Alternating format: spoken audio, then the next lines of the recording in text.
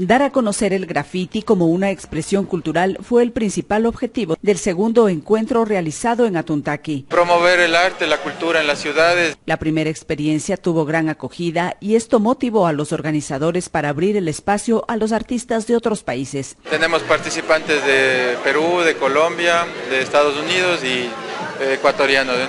Fueron alrededor de 50 jóvenes, cada uno con su propuesta para ser plasmada en los espacios previamente seleccionados. Yo hago como animales, como, como bestias que yo hago animales y los reinterpreto, así según mi visión. Porque me gusta, me gusta mucho la abstracción, como las geometrías, porque son atemporales y además lo puede percibir cualquier persona. Cuando uno ve un círculo no es como o un cuadrado, no es como cuando ves unas letras que no puedes entender.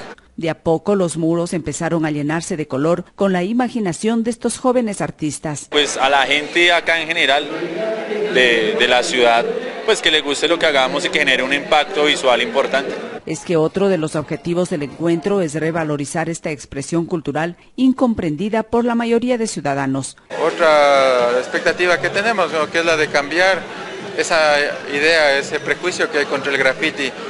El graffiti positivo es el que nosotros estamos proponiendo, el graffiti artístico, y es una manera más de, expresarse de los jóvenes, poder acceder a, tener un lugar donde decir lo que ellos quieren, los, sus anhelos, ¿no? Cano que pues den la oportunidad de, de visibilizar, de mostrar un poco lo que se hace. La organización del encuentro tuvo el apoyo de la municipalidad de Antonio Ante, que cubrió los gastos de hospedaje y materiales para la elaboración de estos grafitis, que en algunos casos tardaron hasta tres días en ser terminados. Con cámaras de Galo Vinuesa, Nancy Valdivieso, Prisma Informativo.